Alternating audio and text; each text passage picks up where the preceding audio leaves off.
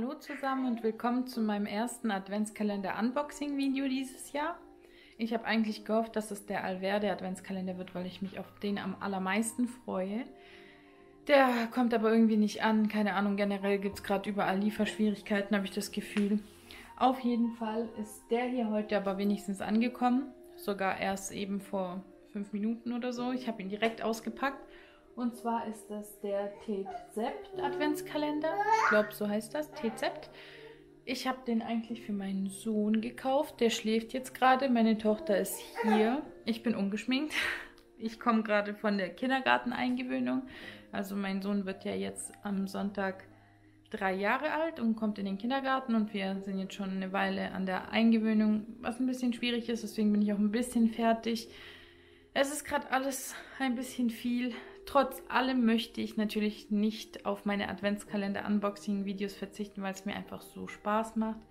Und das Gute an diesem Kalender ist jetzt, dass er so, ja, diese wiederverwendbaren Fächer hat. Deswegen werde ich den jetzt mal mit euch zusammen auspacken, wieder zusammenpacken werde und dann wird das der Adventskalender von meinem Sohn dieses Jahr. Also so sehen die Türchen aus. Ich habe das jetzt hier auch alles auf die Schnelle mit dem Hintergrund und dem Licht. Keine Ahnung, ich hoffe, das funktioniert. Ich hoffe, das geht einigermaßen. Wie gesagt, ich habe nicht viel Zeit. Mein Sohn schläft. Meine Tochter mal gucken, wie lange sie mich machen lässt. Sie wird wahrscheinlich auch demnächst Mittagessen wollen. Deswegen muss ich mich ein bisschen beeilen. Aber vielleicht ist es auch mal ganz gut, nicht ganz so viel ähm, ja, zu schwatzen. So, Türchen Nummer 1. Also was ganz Süßes. Hier ist so ein kleines Rätselspaß drauf. Ich weiß nicht, ob mein Sohn das schon machen können wird. An sich ist der Kalender, soweit ich mich erinnere, ab drei Jahren. Von dem her sollte das machbar für ihn sein. Hinten ist dann auch die Lösung drauf. Ich denke mal, da wird bei jedem Türchen so ein kleines Rätsel dabei sein. Finde ich eigentlich ganz süß. Machen wir mal auf. Ich versuche das jetzt so unbeschädigt, unbeschädigt wie möglich alles zu lassen. Ah, da sind auch so Türchen, die sind gar nicht so komplett zum Öffnen, sondern so zum Aufklappen. Das ist natürlich super zum Wiederverwenden. Und in Türchen Nummer 1 haben wir Badeperlen Weltraumhelden mit Melonenduft und hautpflegender Rezeptur. Ich gucke gerade, ob man hier irgendwo dran reiben kann, um das mal Test zu riechen. Mit außerirdischem Glitzer, mit Lebensmittelfarbe, frei von Silikonen, Paraffinen, Mineralölen und Mikroplastik. Und vegan ist es auch. Man das hier für Kinder ab drei Jahren. Von dem her passt es perfekt für meinen Sohn. Ich rieche jetzt mal. Also tatsächlich, wobei, hier oben kommt ein bisschen ein Duft entgegen. Nee, also es riecht nach etwas, aber nicht nach Melone. Ich werde es jetzt, wie gesagt, nicht auspacken, weil mein Sohn das dann richtig schön auspacken soll. Es gibt mehrere Badezusatzkalender, gerade auch für Kinder, aber ich habe mich eben für Tezept entschieden, weil das so eine medizinisch geprüfte Marke ist, soweit ich weiß. Und ich der halt einfach vertraue wenn ich jetzt so eine No-Name-Marke gekauft hätte, sag ich mal, habe ich wie gesagt auch welche gesehen, bin ich mir nicht so sicher, ob, mein, ob ich wirklich mein Kind darin baden soll. Aber bei Tezept habe ich da absolut keine Bedenken. Pack das auch alles wieder, pack das auch alles wieder schön ein und versuche das auch wieder einzuräumen denke mal, dann ist auch die Stabilität besser gegeben. Und ich versuche jetzt mal das Licht anzumachen. Vielleicht sieht man mich dann ein bisschen besser. Also ich hoffe, man sieht mich jetzt einen Ticken besser. Wir machen weiter mit Türchen Nummer 2. Türchen Nummer 2. Noch 22 Mal schlafen und dann kommt der Weihnachtsmann. So sieht das aus ist hier ein kleiner Lesespaß. Also mein Sohn ist jetzt in dem Alter, wo er gerne Bücher vorgelesen bekommt. Ich weiß nicht, ob das ein bisschen spät ist für Kinder. Ich meine, ich habe schon früher Interesse an Büchern gehabt, er leider nicht. Bin aber froh, dass er jetzt langsam anfängt. Von dem her ist das ganz süß hinten. Und in Türchen Nummer 2, ach, ist das goldig.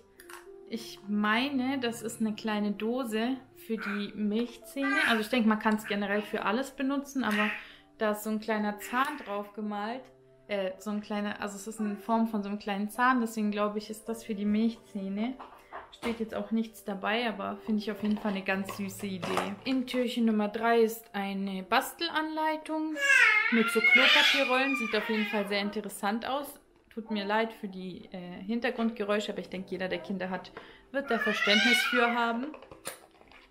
In Türchen Nummer 3 haben wir eine, einen Teezept Schaumbad, Prinzessin Lilifee. Gut, ist halt ein bisschen, ja, mädchenhaft, aber ich meine, in dem Alter gibt es das, glaube ich, für die noch gar nicht so was für Mädchen, was für Jungs ist. Von dem her passt das ganz gut. 90% der Inhaltsstoffe sind natürlichen Ursprungs und vegan. Ich denke mal, das gilt für alle Badeprodukte von Tezept.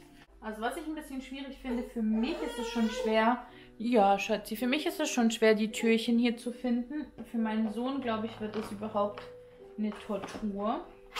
Türchen Nummer 4 haben wir wieder einen Rätselspaß. Eisschollen-Sudoku. Kannst du das Bilder-Sudoku komplett ausfüllen? Ich glaube, es wird noch ein bisschen schwer für ihn, aber ich glaube, ich werde da ein bisschen Spaß dran haben. Gucken wir mal, was sich hinter dem Türchen verbirgt. Es ist ein Knisterbad Räuberbande. Knisterndes Badeabenteuer mit fruchtigem Apfelduft. Jetzt noch mehr Knisterspaß. Mal gucken, ob man was riecht. Nee, also ich kenne das halt von den DM oder generell von so erwachsenen Badezusätzen, dass da immer irgendwo so ein, so ein Teil ist, wo man dran riechen kann. Das gibt es hier jetzt nicht, aber vielleicht ist das sogar ganz gut. Was ich noch sagen wollte, vielleicht denken sich manche so, ja, ob ein Badezusatz-Adventskalender wirklich was Schönes für einen Dreijährigen ist. Ich weiß nicht, ich denke, ja, Dreijährige sind verschieden und haben verschiedene Interessen und meiner badet halt super, super gerne mit Papa in der Badewanne. Ist halt finde ich mal so ein, gerade für den Anfang in der Badewanne, ein super Einstieg, so ein Badezusatz, der so das Wasser verfärbt oder wo es knistert oder was auch immer. Äh, denke ich, ist es ganz schön für meinen Sohn, weil er halt echt super gerne in der Badewanne ist. Habe wieder einen kleinen Perspektivenwechsel, weil die Kamera umgefallen ist, weil ich meine Tochter kurz umlegen musste. Es ist wirklich nicht einfach mit zwei Kindern. Ich könnte jetzt auch warten, bis die abends wieder beide schlafen wenn sie dann auch wirklich schlafen. Öfters mal wird halt vor allem die Kleine auch wieder wach. Dementsprechend ist das auch kein 100% Mittel zu sagen, ich mache das abends. Aber ich warte jetzt schon so lange, endlich mal einen Adventskalender auszupacken. Ich habe so viele schon bestellt. Die meisten kommen halt eben erst Oktober, November. Und die habe ich jetzt mich so gefreut, dass es endlich bei DM Online, die habe ich nämlich von DM Online, die Adventskalender zu bestellen gibt. Und dann gab es ewige Lieferverzögerungen. Wie gesagt, ich habe den Alverde Adventskalender zeitgleich mit dem hier bestellt und der kommt, kam jetzt schon zu spät und der Alverde, Alverde Adventskalender ist immer noch nicht da. Und deswegen muss ich mir jetzt so lange in Geduld üben, dass ich jetzt nicht mehr warten konnte und dieses Video jetzt hier auf Biegen und Brechen mit allen Umständen drehe. Ich hoffe, das ist in Ordnung für euch und wir machen jetzt weiter mit Türchen Nummer, wo waren wir denn? Türchen Nummer 5. So sieht das aus. Da hinten ist die Lösung und hier ist wieder ein kleines Rätsel. Türchen Nummer 5 haben wir ein Blubbersalz-Schlafmützchen. Ein spannendes Blubbervergnügen mit zart duftendem Lavendel. Also gerade für abends, meistens badet mein Sohn abends vorm Schlafen, ist das super. Lavendelduft riecht bestimmt auch super. Ich gucke jetzt gerade, ich glaube, ja, hier hinten ist zum ersten Mal so ein ganz kleines Löch, Löchlein. Ich bin mir gar nicht sicher, ob das mit Absicht ist, aber ich gehe jetzt einfach mal davon aus. Auf jeden Fall riecht man da richtig schön das Lavendel. Also so ein süßer Lavendelduft. Riecht richtig lecker, würde ich selber drin sogar baden. Und so sieht die Packung aus. Also bis jetzt finde ich die Vielfalt in dem Adventskalender echt gut. Ich bin froh, dass sich bis jetzt noch nichts wiederholt hat. Das eine war ja so ein Schaumbad, Blubberbad. Also ich habe gedacht, das wären immer so die gleichen Tüten mit verschiedenen Duftrichtungen. Das Türchen Nummer 6 ist ja der Nikolaus. Da bin ich mal gespannt, ob da was Besonderes drin ist. Oh ja, es ist auch ein etwas größeres Türchen. Und zwar ist es das hier. Ah, wie süß. Das ist sogar Lesespaß Nikolaus von Mira, heißt es, glaube ich. Und hier hinten noch ein kleiner Nikolaus zum Ausmalen. Also ich finde es echt putzig, wie Details geachtet wurde. Wenn er weiterhin so liebevoll gestaltet ist, dann muss ich sagen, bin ich echt begeistert. Also ich wusste auch nicht, dass auf jeder Packung jetzt so ein kleines Rätselchen oder so sein wird. Von dem her, top. TZ, top bisher. Geht die irgendwie ein bisschen anders auf wie die anderen Türchen? Ich weiß das gerade. Ah, deswegen wahrscheinlich. Die geht nämlich hier von der Seite. Ich habe die ganze Zeit hier oben was gesucht, aber die geht so seitlich auf. Ich finde die, die Packungen echt süß. Der ist auch zum Wiederbefüllen richtig super, weil, weil das mal was... Das ist wie so ein kleines, wie so eine kleine Geschenkbox und nicht diese üblichen, einfach nur diese Laschen, die man öffnet. Und hier haben wir... Oh, was ist das denn? Ah, das ist so ein Kinderspielzeug, wo man so reinguckt und dann sieht man alles so. Ich, ich will mal probieren, ob ihr das in der Kamera sehen würdet. Ich halte Seht ihr mich? Eigentlich müsste man das sogar sehen können. Auf jeden Fall ist das so ein Prisma.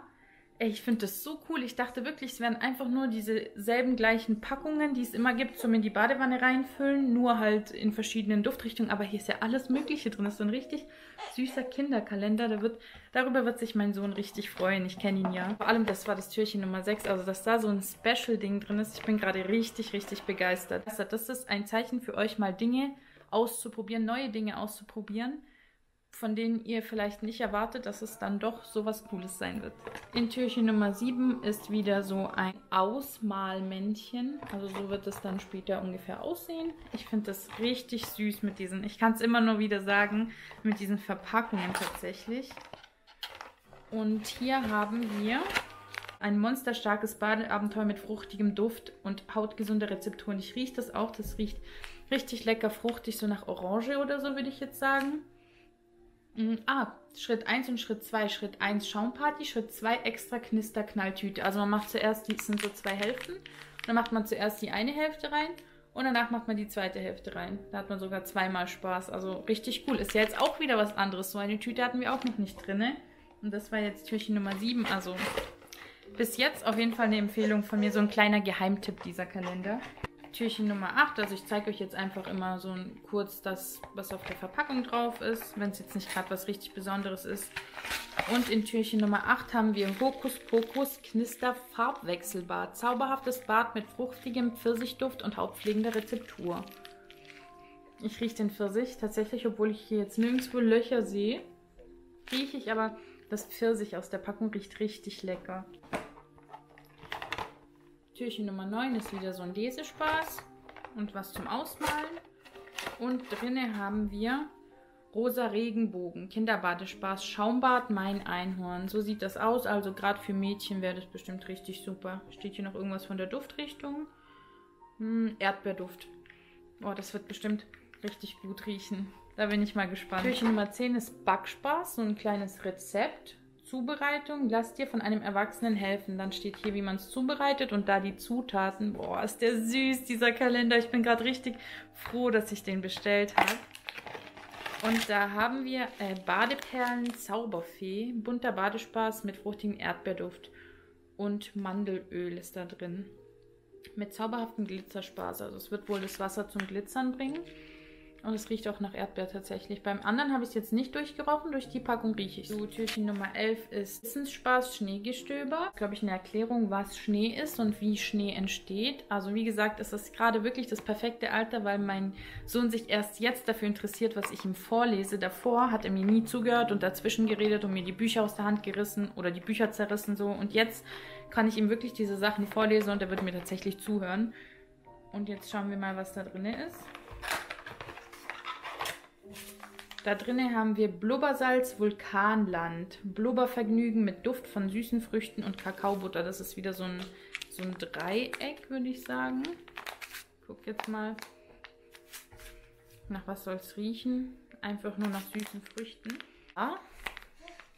Es riecht, aber ich finde tatsächlich nach Männerparfüm so ein bisschen. Vielleicht ist das die Kakaobutter, die das so herb macht, aber riecht nicht schlecht noch zwölfmal schlafen und dann kommt der Weihnachtsmann, steht hier drauf. Und hier gibt es wieder einen Dinosaurier zum Ausmalen. Oh, wie cool. Das meine ich. Also Tezept, Hut ab. Egal wie der Kalender weitergeht, es hat mich jetzt schon überzeugt. Mir geht es um diese Details und diese Liebe, die in diesem, hinter diesem Kalender steckt, die ich einfach spüre durch diese Detailarbeit. Weil das ist ja gerade bei vielen Adventskalendern so, man hat das Gefühl, es ist so ein Restposten ein bisschen. Produkte, die man loswerden möchte, es wiederholt sich, es ist alles so irgendwie, Hauptsache es wird verkauft. Und hier, eben hier, ein Dinosaurier zum Ausmalen und ein Dino-Schaumbad, also Mehr Herz kann man doch in den Kalender gar nicht stecken, oder? Mit dem Duft von Apfel ist das. Dino-starke Schaumwolken mit fruchtigem Apfelduft. Also da bin ich auch gespannt, weil ich liebe Apfel. Rätselspaß Pinguinpanne, also das sehe ich jetzt schon. Wer das nicht erkennt, was das ist, das ist natürlich eine Fehlersuche. Versuche ich mal meinem Sohn zu erklären, habe ich tatsächlich noch nie probiert. Vielleicht ist er mittlerweile in dem Alter, dass er versteht, was er da zu tun hat, aber das ist echt mal interessant rauszufinden. Und in dem Türchen. Was machst du, Maus? Meine Maus ist gerade ein bisschen umgekippt. Also wie gesagt, ich hoffe, ihr entschuldigt das Chaos, aber Es ist ein Kinder-Adventskalender. Ich denke, wenn nicht in diesem Video, in welchem, kann ich dann auf Verständnis hoffen. Weil ihr sonst ganz schnell langweilig wird. Und hinter diesem Türchen verbirgt sich wieder ein Knister-Farbwechselbad. Hokus Pokus ist jetzt das allererste Mal, dass ich sehe, dass sich was wiederholt. Vielleicht wird es sich jetzt auch alles doppeln, aber ich meine, das sind Produkte, da hat mein Sohn nicht nur einmal Spaß dran. Und er wird sich bis Türchen Nummer 12 wird er sich nicht mehr erinnern, was in Türchen Nummer 1 drin war. Von dem her wird er sich auch darüber wieder freuen, ganz klar. Türchen Nummer 14, Rätselspaß. Was ist das denn? Was siehst du auf den Bildern? Lass deiner Kreativität freien Lauf. Es gibt keine falsche Lösung. Ist ja süß. Da dürfen die beschreiben, was sie da sehen, was sie denken, was es ist. Da bin ich auch mal gespannt, weil mein Sohn sieht generell immer in Dingen etwas, worauf ich gar nicht kommen würde. So, er, er ist so richtig kreativ, was sowas betrifft. So, er zeigt, er baut zum Beispiel irgendwas und sagt, Mama, guck mal, das ist das und das. Und ich denke mir so, ja, Tatsache, das sieht wirklich aus wie das und das. Also der ist da richtig begabt drin. Da bin ich mal gespannt, was er dazu sagen wird. Und hier drinnen gibt es ein Knisterbad Räuberbande. Ich bin mir jetzt selber schon nicht mehr sicher, ob das überhaupt drin war schon mal oder nicht. Aber ich meine, das ist neu. Mit fruchtigem Apfelduft wieder. Psst, noch neunmal schlafen und dann kommt der Weihnachtsmann. Und ist wieder ein kleiner Lesespaß mit drauf. Und drinnen haben wir wieder so ein Dreieckchen, sage ich mal. Und es ist wieder ein Blubbersalz-Schlafmützchen. Das wird ja wieder das Lavendelbad sein. Aber wie gesagt, wie gesagt, äh, bis bis mein Sohn das in Türchen Nummer, was war es jetzt? Türchen Nummer 15 hat, hat er schon vergessen, dass er das schon in Türchen, keine Ahnung, Nummer 5 oder so hatte. Und gerade dieses Lavendel, da bin ich echt mal gespannt, weil mein Sohn hat ein bisschen Schlafprobleme. Er schläft nicht gut. Er wacht nachts sehr oft auf, obwohl er jetzt ja mittlerweile schon drei Jahre dann ist. Weint dann halt im Schlaf und merkt es gar nicht, dass er, also er ist dann so ein bisschen in seiner Traumwelt und ist dann so halb wach, halb schlafend. Deswegen Lavendel, glaube ich, tut ihm eigentlich ganz gut. In Türchen Nummer 16 gibt es wieder was zum Ausmalen. Und dann ist hier noch ein, hast du deinen Wunschzettel auch schon abgeschickt? Vielleicht mache ich das sogar dieses Jahr mit ihm, weil ich habe tatsächlich noch keine Ahnung, was ich ihm zu Weihnachten schenken werde, beziehungsweise was wir ihm zu Weihnachten schenken werden. Ist eigentlich ein guter Reminder hier drauf. Und da drin ist, oh, das sind 10 Pflaster. Also ich muss sagen, ich habe gar keine Kinderpflaster zu Hause, weil mein Sohn tatsächlich ein sehr vorsichtiger Mensch ist. Hat in so Spielhallen, wenn ich andere Kinder sehe und ihn, immer, dass er wirklich auch gerne tobt und alles, aber er ist sehr vorsichtig. Also er ist immer mit Bedacht, weil er halt leider auch ein sehr ängstlicher Kerl ist. Ich weiß nicht, warum er so ist. Er hat gerade so, was so mutige Sachen betrifft, zum ersten Mal so eine richtig steile Rutsche rutschen oder so, da ist er gar nicht so der Typ für, sage ich mal. Und dementsprechend tut er sich aber auch selten weh, deswegen habe ich gar keine Pflaster daheim. Aber für den Fall der Fälle sowas zu haben, ist ganz gut. Das sind so Kinderpflaster. Ich gucke jetzt mal, ob ich die aufmachen kann. Das sind so kleine Kinderpflasterchen. Finde ich ganz süß. Hatte ich als Kind auch, beziehungsweise meine Mutter hatte sowas für mich, weil ich mir ständig wehgetan habe. In Türchen Nummer 17 ist, glaube ich, so ein kleines Experiment. Wissensspaß, der Backpulver-Vulkan. Weiß ich jetzt nicht, ob ich das mit ihm machen werde, aber an sich ist da so eine kleine Anleitung für ein Experiment. Vielleicht ja mal irgendwann mit dem Papa. Und drinnen haben wir wieder das Dinosaurier Schaumbad. Wir hatten jetzt zweimal so richtig mädchenhafte Schaumbäder, sag ich mal, so mit Prinzessin und Lilifee und was das war. Und jetzt zweimal so Dinos finde ich eigentlich ganz gut. Mein Sohn mag Dinos, der wird sich freuen. Rätselspaß, Eulenkauderwelsch. Wie viele Eulen gibt es von jeder Sorte? Kann ich mal probieren. Das sind alles so Sachen, wo ich selber euch gar nicht sagen kann, ob er das ähm, verstehen wird oder nicht. Wo ich selber gespannt bin, das mit ihm auszuprobieren, um dann sagen zu können und wissen zu können, wie weit er schon ist. Weil wenn ich das jetzt so sehe, denke ich, gucke ich das an und denke mir so, wird mein Sohn das verstehen, was ich von ihm will, wenn ich ihn das frage? Und da bin ich halt echt gespannt. Hier haben wir wieder, nee, nicht wieder, ich glaube, das ist eine andere, sprudelndes Regenbogenschaum. Sprudelbad Regenbogenland ist wieder so ein Einhorn mit drauf. Also ich denke mal, das wird verschiedene Farben haben. Mit fruchtigem Duft. Nummer 19 ist Blinder Passagier. Welches Bild passt nicht in die Reihe? Das ist ja süß. Die habe ich auch so noch gar nirgends irgendwo gesehen. Ich weiß nicht, ob da jetzt auch Sachen dabei sind, die extra für den Kalender gemacht wurden. Auf jeden Fall ist es ein Mein Panda Schaumbad mit Orangenduft mit Fingerpuppe zum Spiel. Nein, wie süß. Das trennt man hier unten ab. Und dann kann er, wenn es leer ist, seine Finger so rein in, die, in, dieses, in das Püppchen, sag ich mal, und damit so spielen. Ist ja auch auf so einer Folie, von dem her kann er da im Wasser damit spielen. Finde ich richtig süß. Und guckt euch an, wie riesig dieser Panda-Kopf ist. Und ich habe schon einen großen Kopf. Ne? Diesen Türchen und ich habe es nicht gesehen. Oh, und es ist auch schwer. Spaß wünscht dir was. Was gehört zu wem? Kannst du Frolumbus Freunden helfen, zum richtigen Geschenk zu kommen? Und hier haben wir, boah, ist ganz schön schwer. Die kenne ich sogar. Ich, ich habe gerade überlegt, wir haben es selber nicht gemacht gehabt, weil ich habe das für ähm, die Tochter des besten Freundes meines Freundes gekauft gehabt, zu Weihnachten, glaube ich. Das ist auf jeden Fall Badeüberraschung Schatzsucher. Sprudelnde Badeüberraschung mit fruchtigem Duft. Färbt das Wasser blau. Und wenn die sich auflöst, dann verbirgt sich da drinnen ein Schatz. Und so wie ich das jetzt hier sehe, hier war irgendwo so ein Fisch und ein Delfin. Da wird halt so eine kleine Figur drin sein oder so ein, hier oben so ein Fisch. Finde ich cool. Bin ich mal gespannt, was wir da drin haben werden. Also man kann die auch relativ gut rausholen. Ich denke, mit seinen kleinen Fingerchen wird er das hinbekommen. Lehmann-Familie, Bastelspaß, ist eine Bastelanleitung, um dann so ein Bild zu machen. Also ich denke, das ist dann auch cool, so eine Beschäftigung für den Tag zu haben, dass man mal so ein, wirklich jeden Tag so ein kleines Highlight hat, was man mit dem Kind macht. Badeperlen, Weltraumhelden. Die hatten wir schon, da erinnere ich mich jetzt, aber ich meine, es war sogar die erste Tür oder einer der ersten bis zum 21. Voll in Ordnung. Also ich finde, es dürfen sich auch die Sachen wiederholen.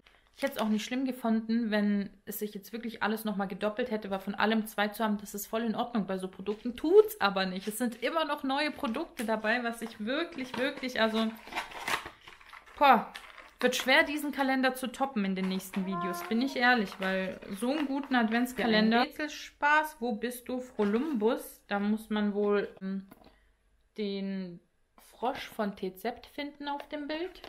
Das wird er hinbekommen. Da bin ich zuversichtlich. Und im Türchen drin, ne? Oh, sowas hatten wir jetzt auch noch nicht. Also es ist so ein richtiges Dreieck. Das ist nicht hier oben so zusammengefaltet. Oder vielleicht sieht es einfach nur anders aus. Es ist auf jeden Fall ein Sprudelschloss Prinzessin Lilifee. Ich meine, das hatten wir auch noch gar nicht drin. Magisches, glitzerndes Sprudelbad mit süßem Beerenduft. Mal gucken, ob ich sie irgendwo... Ah, das schneidet man auch hier oben auf. Sprudelschloss mit in die Badewanne nehmen. Noch einmal schlafen und dann kommt der Weihnachtsmann. Bist du schon aufgeregt? Süß. Und hier hinten ein Malspaß. Da fehlt doch noch was. Kannst du den Teddy fertig machen? Also das wird er nicht hinbekommen bin ich ehrlich, in dem Türchen. Ah, da ist wieder dieses, diese Knisterschaumparty, wo Schritt 1 eine Schaumparty und Schritt 2 eine Knalltüte ist. Also freue ich mich, weil ich fand das bei dem anderen Türchen schon richtig cool. Ich glaube, mein Sohn ist wach. Wir sind ja eh gleich fertig. Wir machen jetzt noch ganz schnell Türchen Nummer 24. Die sieht er mich nämlich auch direkt. Ich hoffe, der bleibt noch ein bisschen in seinem Bett. Türchen Nummer 24. Machen wir mal ganz schnell auf. Auf jeden Fall ist hier wieder so ein Malspaß. Da ist dieser Frosch von Tezept drauf. Und ein Lesespaß. Endlich heute ist Weihnachten. Und jetzt schauen wir mal, was da drin ist.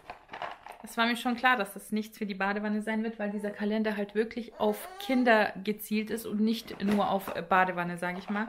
Und zwar ist das ein Mini-Puzzle mit 54 Teilen. Eigentlich steht da vier Jahre plus, aber mit einem Erwachsenen zusammen ist es für jedes Kind machbar. Mein Sohn hat jetzt noch gar keine Erfahrung mit Puzzle, aber ist eine gute Idee. Ja, und du möchtest auch essen, gell? Ich fütter dich auch gleich. Ist auf jeden Fall eine gute Idee, das mal auszuprobieren. Oh, perfektes Timing. Hiermit beende ich auch das Video. Ja, Schatzi. Ich hoffe trotz dem Chaos, dem äh, spontanen, ja, Perspektiven, ja, der spontanen Perspektivenwahl und ähm, dem ungeschminkt sein, sage ich mal.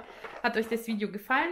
Mir hat auf jeden Fall der Adventskalender gefallen. Ich lege allen, die ein Kind haben, das gerne badet, diesen Kalender ans Herz und äh, freue mich, wenn ihr beim nächsten Mal wieder einschaltet. Dankeschön!